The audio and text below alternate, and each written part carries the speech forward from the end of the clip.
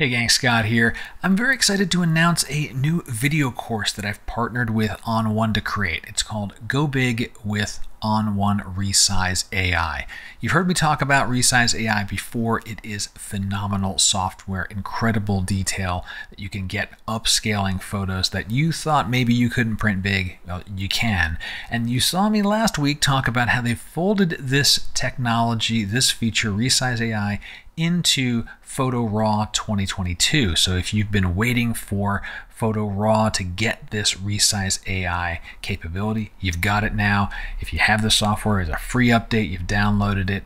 And so uh, I'm just super excited about this course. There are 10 video lessons that show you not only how you can use Resize AI to make bigger photos, but why you might want to use Resize AI in what situations. Uh, everything from just making a big print from a small photo to canvas wraps to multi-photo prints, uh, a whole bunch of stuff in it. Uh, there's a, a, reference PDF in there, so every slider of Resize AI is explained. You'll learn some editing techniques as well. Uh, there's a bonus preset pack in there, and uh, you can get this directly from On1. This course is available from On1 right now and they're running a pretty sweet pricing deal on it. So I'll put all the links to it in the show notes.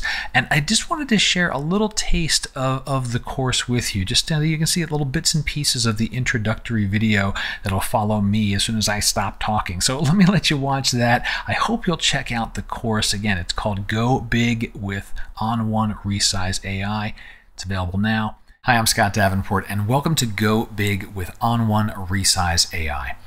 This course is all about photo enlargement, taking photos from smaller sources, photos that we didn't necessarily think we could make a large print with, using Resize AI to make that big print and put it on your wall in your home, your office, or share it with friends and family, making that tangible piece of art. You'll also see some editing techniques. I've included practice images in the course, and there are videos that go through the processing of several of the images you'll use in this course as you learn about Resize AI, so you pick up some editing techniques as well.